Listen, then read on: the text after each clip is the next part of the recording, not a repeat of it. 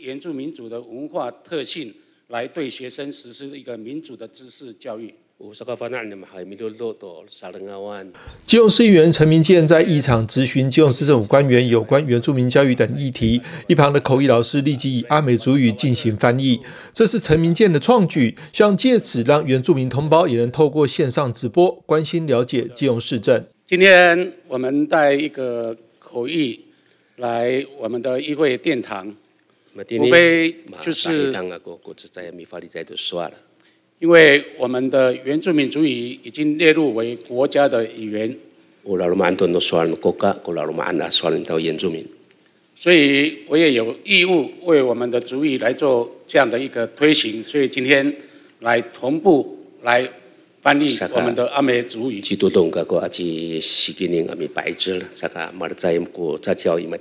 陈明健也提出，基隆市敬老卡应该比照双北，将原民长者适用年龄调降到年满五十五岁即可。在我们基隆市的敬老卡的年龄，呃，都一直都规定是在六十五岁。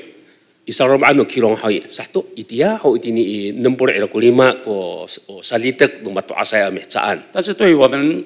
呃，这个老人的一个定义，甚至在老人福利法里面，呃，我们常常都已经认同，老人就是一般的六十五岁，原住民五十五岁，包括我现在算是也是老人的老人级了哈。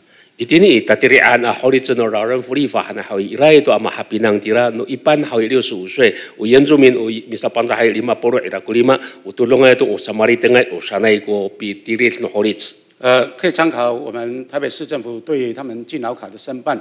把年五原住民的岁数提提降下修到五十五岁的原住民。我记得阿米扎六对原住民可以那呃利马波罗伊拉古利马多过能拉阿比哈比沙比纳。对此，谢国良回应表示认同，也承诺将朝这个方向推动。敬老卡的申办是市民是一般是六十五岁，但是原住民的部分是五十五岁，是不是？然后北北桃都是这样，唯有基隆是没有。那我想看看，想请问一下议员，这个五十五岁跟六十五岁的原住民的目前的人数大概是有多少？呃，大概一千两百零一。一千两百过护证课，一二零一。这样这样的衍生的费用会多多少？所以我觉得应该是要比照才对啊。我觉得应该是要跟。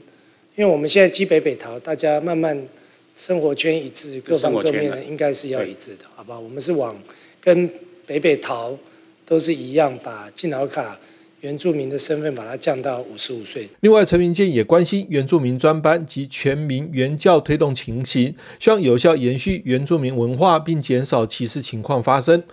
陈明建同时提出龙舟赛复办以及原住民文化金康站接驳等问题，更提到最近很夯的台剧《八尺门的辩护人》正是在基隆原住民社区海滨国宅取景，呼吁基隆市政府把握机会发展当地观光。